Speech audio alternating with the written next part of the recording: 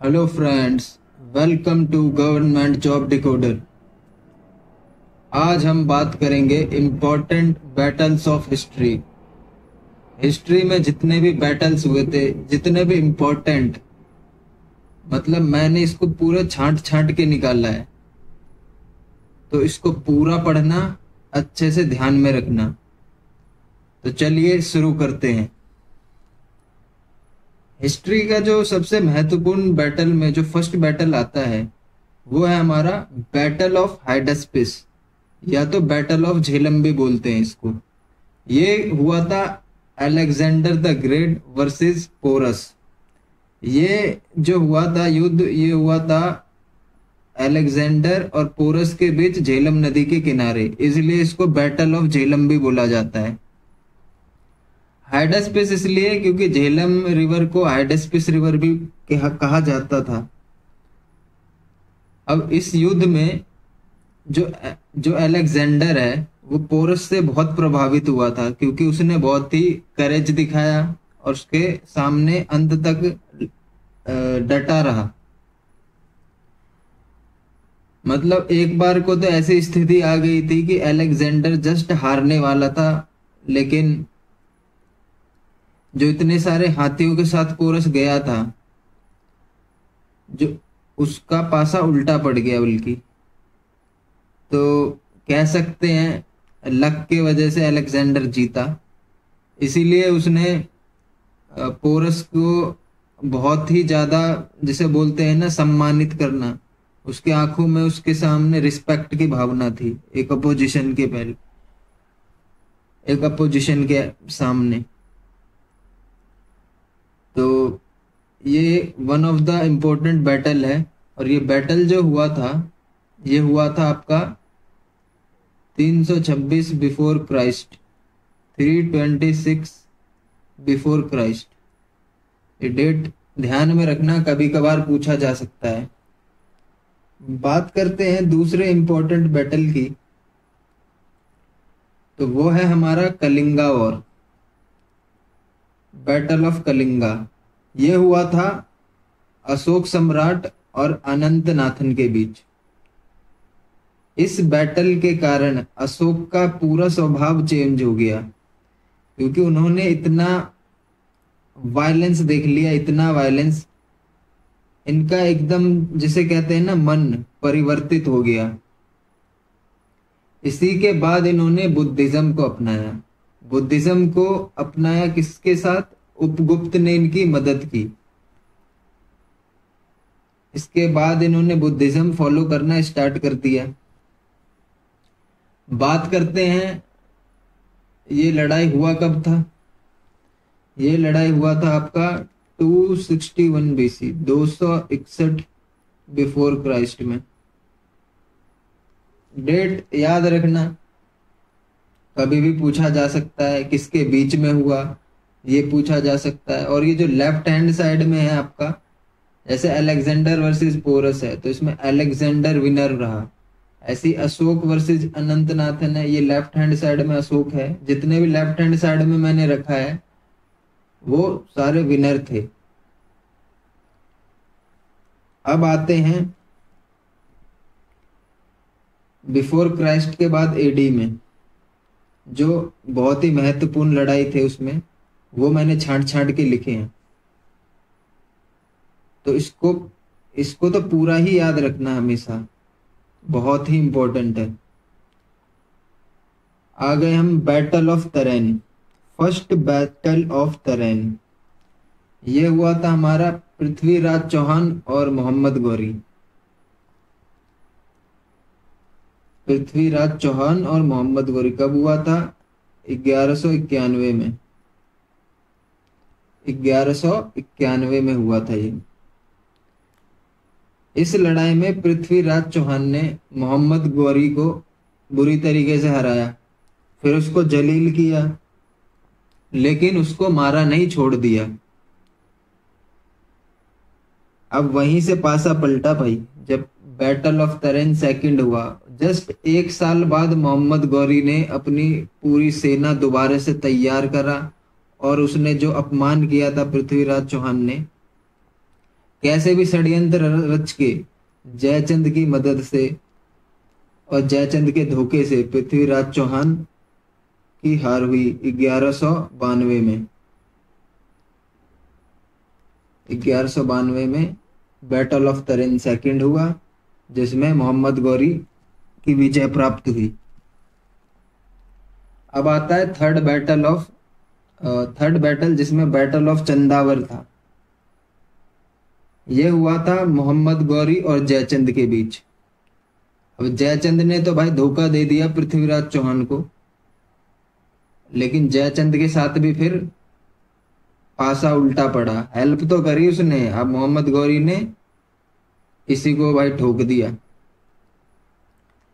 और ये जो लड़ाई हुई थी, ये हुई थी ग्यारह सौ चौरानवे में। बात आया समझ में? बहुत ही महत्वपूर्ण बैटल है। ये तो भाई पूरा वीडियो फुल देखना। एक ना एक क्वेश्चन फंसना ही फंसना है। और आपने देखा भी होगा कि इन्हीं में से आते हैं क्वेश्चन मोस्ट इंपॉर्टेंट लिखा है पूरा। और डे बाय डे आपका कंटेंट भी बढ़ता जा रहा है जीके जीएस का। तो इसको रिवाइज भी करते रहें डेली हैबिट पे। ये नहीं कि जस्ट वीडियो देखे जा रहे हैं, देखे जा रहे हैं बट उसको नोट भी नहीं कर रहे हैं या तो याद नहीं कर रहे हैं। इसको डेली एक एक बार तो सुनना ही सुनना है। ऑटोमेटिक याद हो जाएगा। क्योंकि हैबिट में आने से आपको एफर्ट नहीं करना पड़ेगा। अगर लास्ट टाइम पे आपने सोचा कि मैं लास्ट टाइम पे सब कुछ निपटा दूँगा तो तो बहुत मुश्किल काम है। इसको डेली डेली धीरे धीरे, आधा आधा घंटा भी दोगे तो आराम से आपका जी के जी एस क्लियर होता रहेगा। चलो आप चलते हैं नेक्स्ट अब आते हैं भाई बाबर के टाइम पे। अब जो ये पहले हुआ है ग्यारह सौ चौरानवे से, इससे पहले बता देता हूँ मैं। मोहम्मद गौरी इसके बाद वो चला गया था। इसका जो एक जिसे बोलते हैं, गुलाम कह सकते हैं हम वो, कुतुबुद्दीन ऐबक, वो रह गया था यहाँ पे। वहीं से दिल्ली सल्तनत का स्टार्ट हुआ। इसीलिए उसको गुलाम वंश भी कहा जाता है। फिर लास्ट के टाइम पे जो बैटल ऑफ़ पानीपत होगा, यहाँ पे बाबर जो आया है, ये जो है दिल्ली सल्तनत को यहाँ से खत्म कर देगा। ये जो इब्राहिम लोदी है लास्ट शासक था दिल्ली सल्तनत का, लोधी डायनेस्टी में। अब इस बैटल में भाई, बाबर ने इसको बुरी तरीके से तोड़ा। और हुआ कब ये? 1526 में। 1526 1526 में यह युद्ध हुआ। बात करते हैं सेकंड बैटल की बैटल ऑफ़ खानवा बाबर और राणा सांगा। इसमें राणा सांगा ने अपना पूरा एफर्ट लगाया। बहुत ही बहादुरी से लड़ा। लेकिन फिर भी जो बाबर का दिमाग था, उसके सामने उसको हारना पड़ा। बहुत ही चतुर। बाबर ऐसा योद्धा था।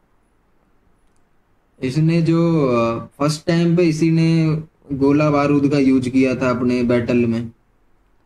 बहुत ही चालाकी से अपना पहले प्लानिंग करता था।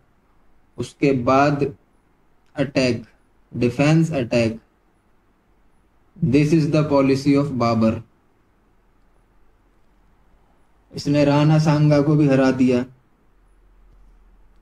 बैटल ऑफ़ खानवा में कब हुआ? 1527 1527 में हुआ था ये। अब बात करते हैं इसके थर्ड बैटल की battle of Chanderi battle of Chanderi हुआ बाबर और मैदनी राय के बीच। इसमें भी बाबर विजय हुआ। फिर एक साल बाद ये एक और युद्ध जीत गया 1528 में। लास्ट बैटल इसका रहा बैटल ऑफ़ घाघरा।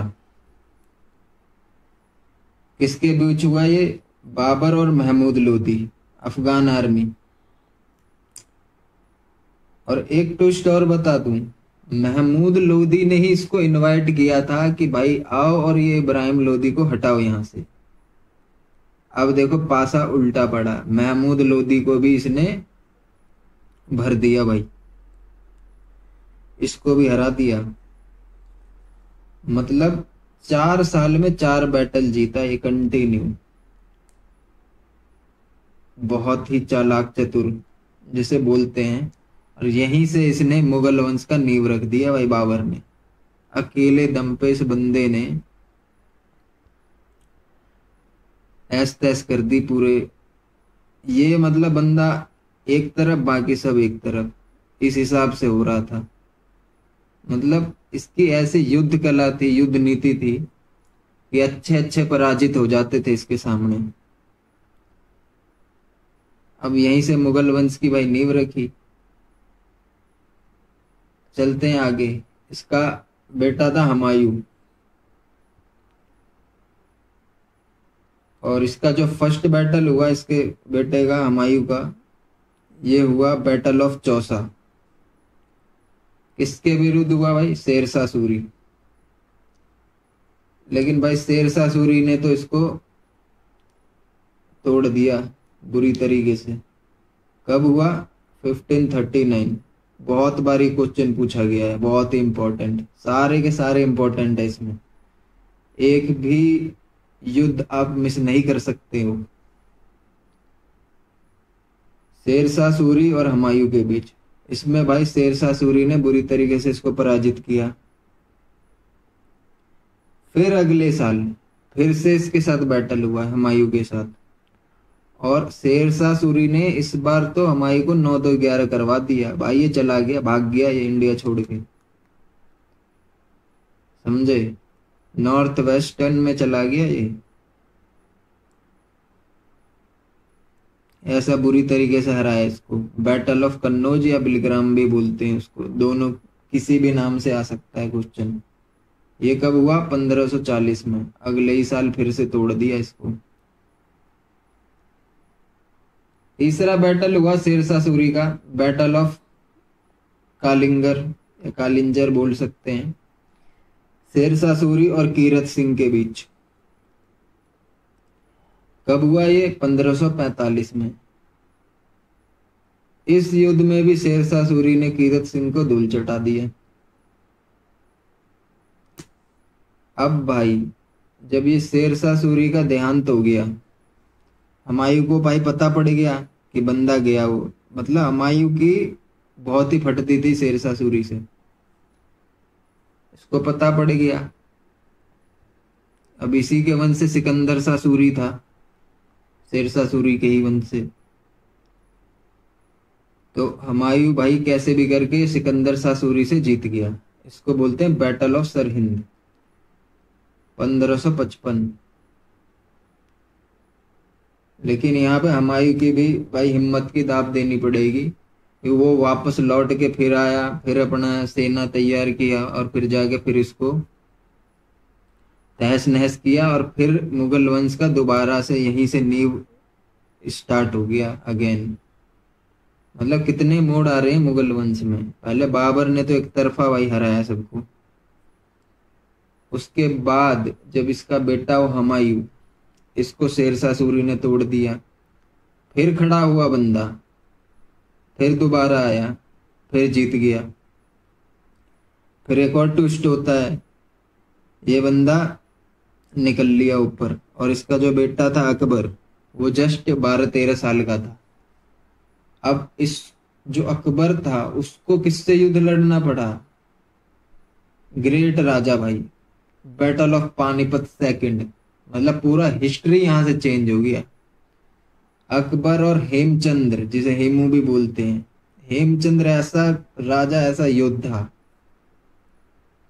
जितना तारीफ़ किया जाए कम है।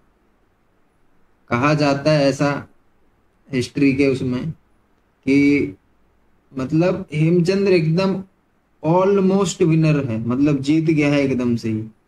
लेकिन एंड मौके पे अब किसका तीर आके उसके आँखों में लग जाता है। जैसे ही अब जो आपका लीडर है, जो मेन बंदा है, वही गिर गया तो पूरी सेना भाई गिर जाती है उस टाइम तो इसको अनफॉर्चुनेट बोलेंगे भाई। इतना अनफॉर्चुनेट शायद ही कोई हुआ होगा इतिहास में। हुआ कब था ये? पंद्रह डेट ये वाला तो ज़रूर याद रखना भाई। सेकंड बैटल ऑफ़ पानीपत मतलब पानीपत के जितने भी बैटल हुए हैं, उसने पूरा हिस्ट्री चेंज किया है। बाबर आया। बाय चांस अगर बाबर वहीं हार जाता तो क्या पता उसकी हिम्मत ही नहीं होती दोबारा आने की। वहीं से मुगल वंश का स्थापना हुआ। मुगल वंश चला भाई 200 सालों तक। यहाँ पे भी अकबर मारा जा सकता था। तेरह साल का ही था। इसके साथ एक खान बाबा रहता था। उसी ने ये एक तरीके से वही लड़ रहा था। ये जस्ट एक उपाधि में था उस टाइम बट भाई किस्मत थी बंदे की, जीत गया। अब इस डेढ़ फुट्टे ने इतना कमाल किया है। आगे जाके, अकबर आए, नाटा ही सा था ही इस बंदे ने मतलब जितने भी हिंदू थे, राजपूत थे, सबको अपने साइड कर लिया। इसे पता था कि भाई बहुत पावर है इनमें। इनसे अगेंस्ट में जाके मतलब जीतना मुश्किल है, पूरे भारत पे कब्जा तो नहीं किया जा सकता है। दिमाग लगाया भाई। दोस्ती करना स्टार्ट लेकिन अकेला महाराणा प्रताप इस बंदे के खिलाफ रहा अगेंस्ट रहा। हमेशा इसको परेशान करता रहा। कभी छापेमारी युद्ध से, कभी किसी से। तो भाई हल्दी घाटी की लड़ाई छिड़ गई। महाराणा प्रताप भाई, सात आठ फुट का बंदा। कहा ये नाटा सा? लेकिन इसकी भाई सेना मज़बूत थी। महाराणा प्रताप की सेना कमज़ोर हो गई थी, क्योंकि जो आधे राजपूत थे वो इसके साथ में ही थे। बात ये हो गई। और एक नंबर का चालाक, ये अकबर मतलब अब ऐसा नीति अपनाया कि सबको अपने साइड किया। लेकिन ये अकेला डटा रहा। महाराणा प्रताप ने भाई पूरा दिखा दिया, जितना भी ज़ोर दिखाना था, तब भी इसको हारना ही पड़ा भाई। और ये हुआ कब? पंद्रह में। पंद्रह में हुआ ये कांड। लेकिन जो चेंज हुआ, पूरा हिस्ट्री वो ये वाला है सीन पंद्रह पूरा हार चुका था ये। पता नहीं क्या किस्मत लेके आया था जो जीत गया भाई। बैटल ऑफ़ असीरगढ़ ये जस्ट पूछ लेंगे। मीरन बहादुर के बीच हुआ और अकबर के बीच में हुआ। तो इसको भी याद रखना। 1601 में हुआ था। ठीक है भाई। अब तो ये अकबर का तो भाई हो गया काम। अब जो और इम्पोर्टेंट बैटल आया। वो आया भाई अंग्रेज़ों के खिलाफ, जो इम्पोर्टेंट हिस्ट्री बैटल हुए। बाकी बीच में बहुत सारे हुए। बैटल ऑफ़ पानीपत सेकंड हो गया। थर्ड भी होगा अभी। वो अंग्रेज़ों का टाइम जब आने वाला था, उसी टाइम पे हुआ है वो। वो भी जो थर्ड बैटल ऑफ़ पानीपत है ना, वो भी हिस्ट्री चेंजर है। मतलब जितने भी बैटल ऑफ़ पानीपत हुए हैं भाई हिस्ट्री चेंज हो सकता था अगर वो अपोजिशन जीतता तो। देखते हैं उसको आगे भी। Battle of Plassey Lord Clive versus Sirajuddaula बहुत ही, ये भी अंग्रेज़ एक नंबर के चलाक इंसान। पहले फूट करते थे और फिर राज करते थे। इसने क्या किया? ये जो मीर कासिम था, इन सबसे भाई सपोर्ट ले लिया, इनको बना दिया कि मैं तेरे को राजा घोषित कर दूँगा, तू मेरा साइड दे इसको हराने के लिए। भाई साइड दिया इसने। हार आ गया भाई सिराजुद्दौला हुआ कब ये? बैटल ऑफ़ प्लासी बहुत ही इंपॉर्टेंट बैटल हमेशा पूछा ही जाता है। 1757 में हुआ था ये। डेट अक्सर ही डेट पूछ लेते हैं किसके बीच हुआ, कौन जीता, ठीक है? तो याद रखना। भाई बैटल ऑफ़ वॉन्डिवस ब्रिटिश और फ्रेंच के विरुद्ध हुआ था। फ्रेंच को यहाँ से भगा दिया भाई ब्रिटिशरों ने। 1760 में हुआ था ये युद्ध 1760 में। अब बात करते हैं थर्ड बैटल ऑफ़ पानीपत भाई साहब, पूरा हिस्ट्री चेंज हो जाता अगर इधर कुछ। अलग रिज़ल्ट मिलता तो। अहमद शाह अब्दाली और मराठा। इसको भी बोलेंगे भाई अनफॉर्चुनेट कैसे? क्योंकि मराठा जो है, वो हारे किस वजह से, जो फ़ूड की शॉर्टेज हुई वहाँ पे। क्योंकि ये गए मराठा से होके मतलब महाराष्ट्र होते हुए गए पानीपत नॉर्थ की तरफ़। फिर जो बैटल होने वाला था, वो दो दिन और डिले हो गया। इनका खाना शॉर्टेज हुआ फ़ूड शॉर्टेज हुआ। कमज़ोर पड़ना स्टार्ट हुए। इस वजह से ये इनकी हार हुई नहीं तो यहाँ पे भी पूरा गेम चेंज हो सकता था। बाय चांस अगर मराठा जीतता। तो क्या पता ये ब्रिटिश का राज हो ही ना पाता। क्योंकि मराठा ही एम्पायर था उस टाइम पे। सत्रह सौ साठ साठ और उसके आसपास में मराठा बहुत ही मज़बूत था भाई। अगर वहाँ से जीत जाता ये तो शायद ये ब्रिटिशरों को भगा देते लात मार के। लेकिन सब किस्मत की बात है जीत गए साले। मराठा की हार हुई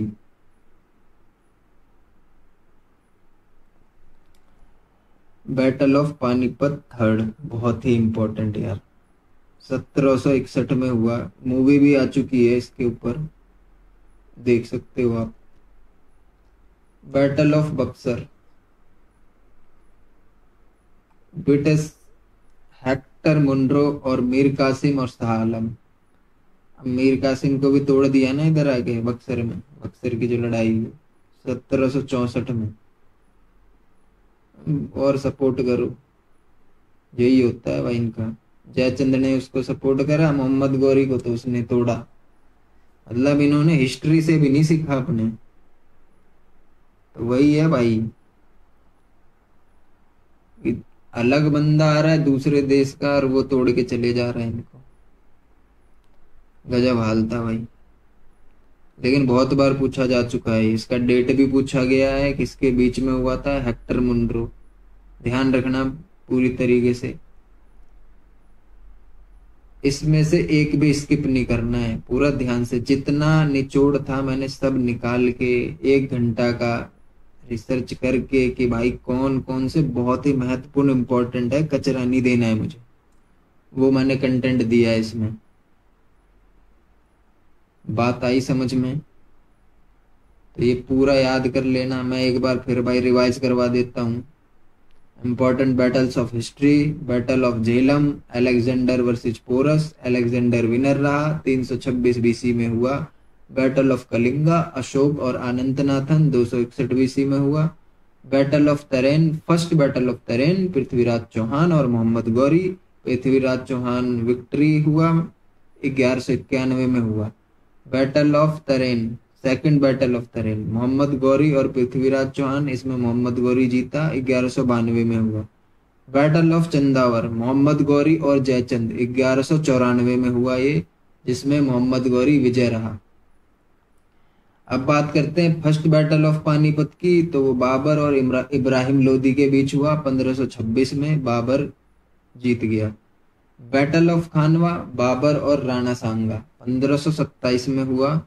इसमें भी बाबर जीता। बैटल ऑफ़ चंदेरी बाबर और मैदनी राय 1528 में। इसमें भी भाई बाबर जीता। Battle of Ghaghra, Babur versus Mahmud Lodi, Afghan army का बंदा, पंद्रह में हुआ, बाबर जीत गया फिर से। बैटल ऑफ़ चौसा, शेरशाह सूरी और हमायूं के बीच में हुआ, पंद्रह में, शेरशाह सूरी जीत गया। बैटल ऑफ़ कन्नौज या बिलग्राम भी बोलते हैं। शेरशाह सूरी और हमायूं के बीच में 1540 में हुआ। शेरशाह सूरी फिर से जीत गया। बैटल ऑफ़ कालिंजर शेरशाह सूरी और कीरत सिंह 1545 में हुआ। इसमें भी शेरशाह सूरी जीत गया। अब बात करते हैं बैटल ऑफ़ सरहिंद की। बहुत बार पूछा गया है, हमायूं और सिकंदर शाह सूरी के बीच में 1555 में हुआ, हमायूं जीत गया भाई। बैटल ऑफ़ पानीपत अकबर और हेमू के बीच में हुआ अकबर जीता 1556 में हुआ ये। बैटल ऑफ़ हल्दी घाटी 1576 अकबर और महाराणा प्रताप। बैटल ऑफ़ असीरगढ़ अकबर और मीरन बहादुर 1601 में हुआ, अकबर जीत गया। Battle of Plassey Lord Clive और सिराजुद्दौला सत्रह में हुआ ब्रिटिश जीत गया इधर। बैटल ऑफ़ वॉन्डिवस ब्रिटिश और फ्रेंच के बीच में 1760 में हुआ, इसमें भी ब्रिटिश जीता। Battle of Panipat third battle of Panipat Ahmad Shah Abdali और मराठा के बीच में अहमद शाह अब्दाली जीता, सत्रह में हुआ भाई। Battle of Buxar British Hector Munro और मीर कासिम और शाह आलम दोनों मिलके लड़े थे, लेकिन हार गए, सत्रह में हुआ। तो भाई, इस वीडियो को ज़्यादा से ज़्यादा लाइक करें सब्सक्राइब करें और शेयर करें। इतनी मेहनत भाई कर रहा हूँ तुम सब लोगों के लिए, लेकिन सब्सक्राइब नहीं करता कोई। भाई, पैसे तो लगते नहीं है। सब्सक्राइब कर दो और शेयर करो भाई, दबा के जितना हो सके। इतने बढ़िया बढ़िया कंटेंट दे रहा हूँ यार बना बना के। अभी और आते रहेंगे आते रहेंगे, जुड़ते रहेंगे तो ये है कि टच में रहना है और डेली भाई जितना भी आ रहा है उसको कंज्यूम करो। अच्छे से ध्यान में रखो उसे। दो तीन बार वीडियो देखो, अपने आप याद होगा। इतने बढ़िया से समझाया यार। इंटरेस्टिंग के साथ। अपने लीमन लैंग्वेज में। So thank you take care bye Jai Hind